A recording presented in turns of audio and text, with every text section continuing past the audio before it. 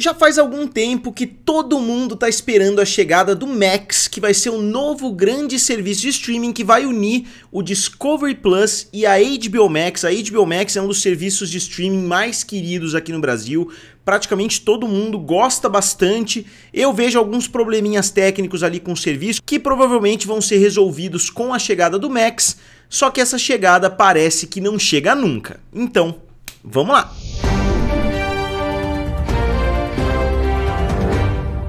Então, pessoal, só recapitulando para quem talvez tenha caído de paraquedas nesse assunto, a Warner Bros. e a Discovery se fundiram algum tempo atrás. A Warner foi desmembrada da AT&T, que era sua antiga dona, e ela se fundiu com a Discovery. Então não foi uma compra, não foi uma venda, foi uma fusão. Só que a Discovery ficou no controle da situação através da figura do seu CEO, David Zaslav, que se tornou o CEO dessa nova empresa, Warner Bros. Discovery, e ficou no ar né, a ideia de uma possível junção, né, uma fusão também dos serviços de streaming, o Discovery Plus, que já existia, e a HBO Max, que era o serviço de streaming da Warner, que não tinha tido um lançamento nada estelar, né, se a gente considerar que a HBO já tinha um caminhão de assinantes, né, eles já tinham ali 4, 40 milhões de assinantes mais ou menos, né, eles não aumentaram tanto assim esse volume, então muitas pessoas estavam decepcionadas com os números da HBO Max, mesmo que a aceitação tivesse bastante positiva,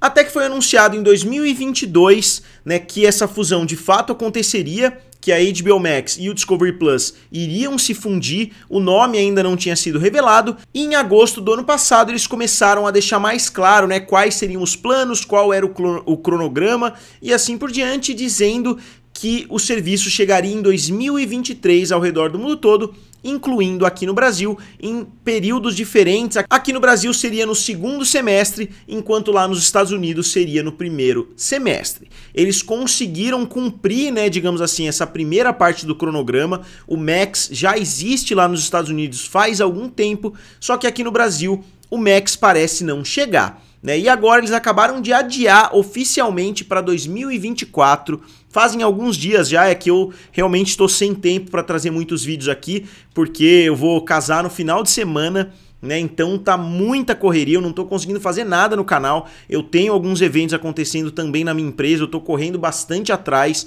Hoje eu tive um curso de manhã, inclusive, então eu não parei, né, das 7 horas da manhã até agora. Eu tô gravando, já tá bem tarde, eu vou voltar para arrumar mais algumas coisas, para terminar de fazer algumas coisas envolvendo aí né, o casamento. Então, realmente tá uma correria alucinante. Tá tendo muita novidade de Rick and Morty que eu não tô nem conseguindo trazer lá no meu canal Triplo F, que é um dos assuntos que eu mais gosto de falar. É uma série que eu adoro. Eu assisti o trailer, eu gostei bastante, mas eu ainda não consegui parar para analisar, né, para trazer um vídeo para vocês. Então, assim que possível, eu vou tentar voltar a trazer conteúdo com mais frequência aqui no canal, né? E espero que dê tudo certo nesse final de semana. E o mais curioso, como vocês podem ver na reportagem aqui atrás, é que no dia 4 de novembro de 2022 eles adiantaram o lançamento do Max nos Estados Unidos. Então não só eles conseguiram seguir o cronograma por lá, como eles adiantaram.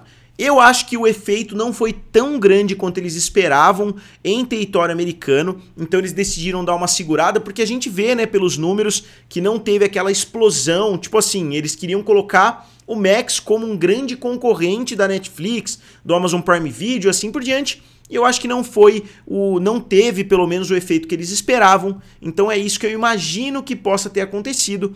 Porque agora, né, no decorrer dessa última semana, eles basicamente jogaram para 2024 o que eles tinham prometido para 2023. Eles nunca cravaram uma data, né? Então muitas pessoas continuam perguntando até hoje, pô, e o Max? E o Max está chegando quando? E assim por diante. Eu já trouxe vários vídeos a respeito do Max aqui no canal, né? Se vocês quiserem dar uma olhada. Só que essa é a notícia, ó, peguei uma notícia do Omelete mesmo, mas tem notícias americanas falando a respeito desse adiamento também.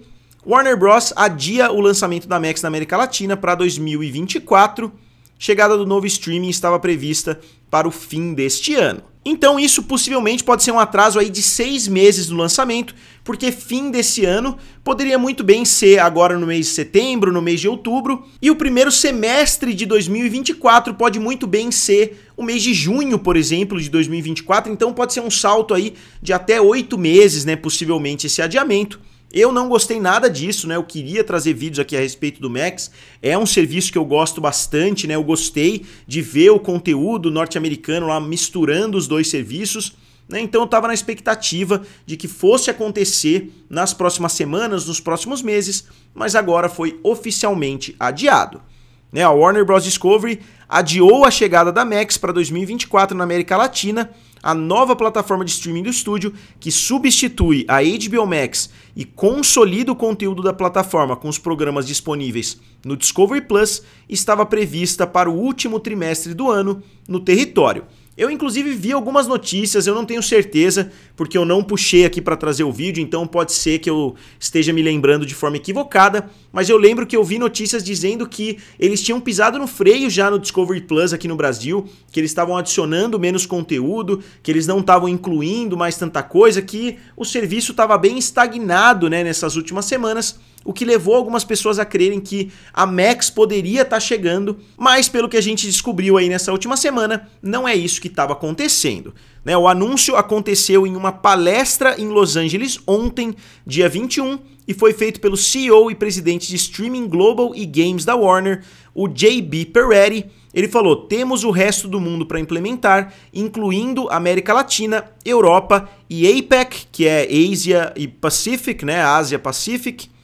Originalmente faríamos isso no final deste ano para garantir que faremos corretamente. Vamos adiar a implementação na América Latina para o primeiro trimestre do próximo ano. Primeiro trimestre, então, eu tinha lido aqui rapidinho, eu achei que era primeiro semestre, mas eles estão falando primeiro trimestre. Eu ainda não boto a mão no fogo que chega nesse primeiro trimestre, porque eles já prorrogaram, né? E isso coloca em questionamento o lançamento norte-americano, inclusive, porque eles adiantaram o lançamento lá nos Estados Unidos. Será que, né, como eu disse, essa insatisfação com os números, essa insatisfação com os resultados não fez com que eles empurrassem essa data um pouco para frente para fazer com um pouco mais de calma ou para entender um pouco melhor o mercado nacional, porque agora eles já têm os números da HBO Max, eles já sabem, né, o percentual ali do público que está disposto. Eu não imagino que eles vão ganhar muito público aqui na América Latina com o Discovery Plus. Obviamente é um atrativo para o público, mas eu não sei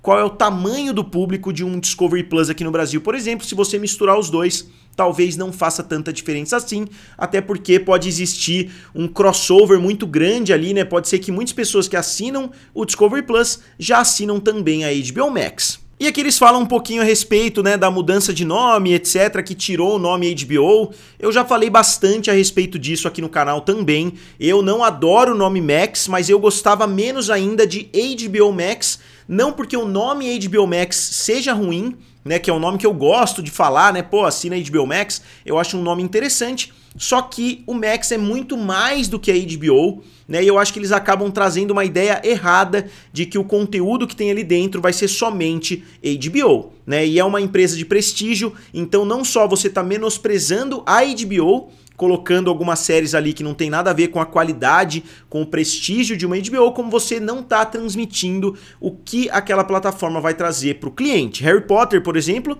muitas pessoas não vão associar Harry Potter a HBO, Matrix, Senhor dos Anéis e assim por diante, né? São coisas completamente distintas. E aqui eu coloquei os dois serviços aqui no Brasil, só para vocês darem uma olhada como que tá hoje, né? Ó, se você entrar aqui, economize 5 meses com o plano anual, Assine agora, aplicável ao plano anual com pagamento antecipado.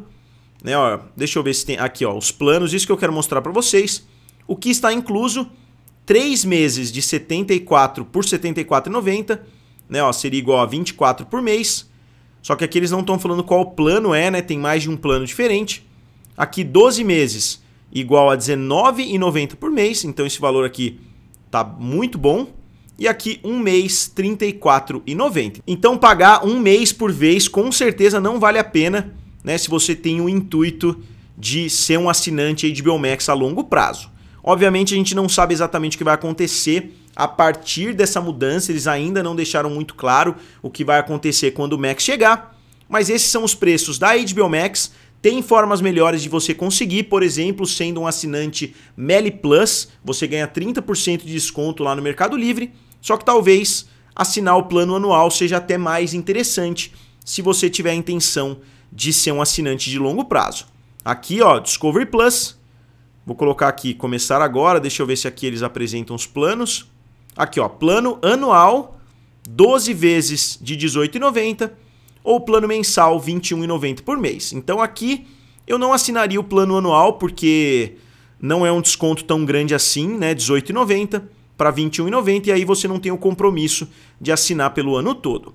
Os dois serviços são interessantes, eu gosto bastante né, da Discovery, eu assisto muitos programas de reformas etc, é um assunto que me interessa bastante, mas eu não sei se vale a pena para muita gente aqui no Brasil assinar por esse valor aqui. Então resta a gente saber agora né, qual vai ser a data exata da chegada do Max na América Latina e no Brasil e também qual vai ser o preço, como vai ser feita a conversão daquelas promoções 50% de desconto vitalício que muitas pessoas têm na HBO. Eu sou um assinante DirecTV Go, então eu tenho 5 anos grátis de HBO Max porque eu assinei, porque eu assinei no primeiro mês de lançamento da DirecTV Go, só que eles começaram a cobrar de forma errada, né? É um outro vídeo que eu fiz esses dias que vocês podem dar uma olhada aqui do lado. Né? Eles estavam cobrando mais de 100 reais pelo meu DirecTV Go simplesmente porque eles esqueceram que eles tinham me dado essa promoção e começaram a cobrar muito mais caro pela minha assinatura. Isso inclusive me levou a estudar aí o possível cancelamento do meu DirecTV Go. Eu ainda estou estudando, né? Eu vou dar uma analisada,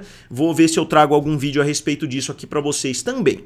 Então, como sempre, eu gostaria de saber de vocês o que vocês acham desse adiamento do lançamento do Max aqui em território nacional. Eu falo do Max, mas eu sei que é da Max. É que eu acho que sou um pouco estranho, né, falar da Max, mas só corrigindo porque eu sei que as pessoas vão dizer aqui nos comentários. Então, como sempre, digam aqui abaixo o que vocês acham a respeito disso, curtam o vídeo e se inscrevam no canal. Valeu! E nos vemos em breve.